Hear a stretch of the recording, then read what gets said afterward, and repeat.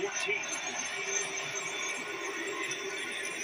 Georgia will go to work with their lead cut back to a field goal from the 25 as we check in with Jamie. Stetson Bennett told me this week the hardest time for him in his career at Georgia was before this season called game. He was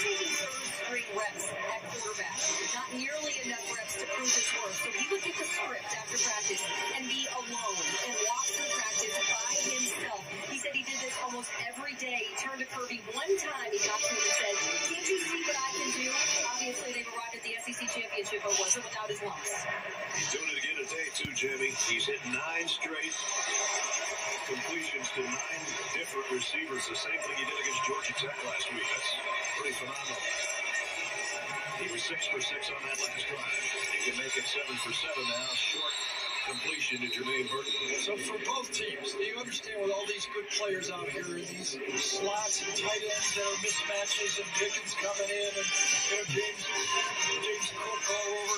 They're going to catch the ball, but it's the tackle after the catch. As we saw in the last one, you know, if you're going to play zone, and Georgia plays more zone than in the past, there's nothing uglier than bad zone defense. When you're in a bad zone defense and you blow a coverage, bad things happen. Tackles after the catch is huge in this game. Cook in motion across the field. With the handoff, Zamir White off the left side. To'o To'o has got it wrapped up and is fired up after making the stop. Short game, third down. Both coaches said the most physical team will win. Watch the physical play right here by Van Pran. The center on the play. He takes the run block and just stoves. I would have ran that with Bennett. I get, y'all got to start using him in these RPO runs and shit. Cause they gonna expect these running backs to run. You gotta get Will Anderson off balance, man. Come on, offense. We need a first down, baby. Keep this drive rolling.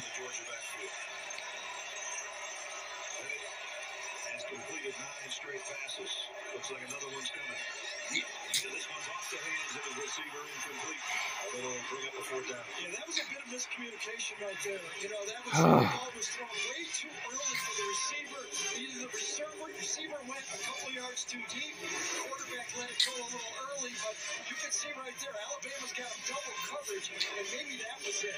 Mitchell felt the extra safety there, and Man. they just weren't connected on that throw. That'll bring up uh, Jake Kamar to. Late Holman's got it back that mile, and he's going to let it go. It made it to the end zone, or that would have been a monster punt for number 90. 68 yards as it was. A.D. Mitchell getting some tutoring from his own teammates on the sideline. 10-7 Georgia.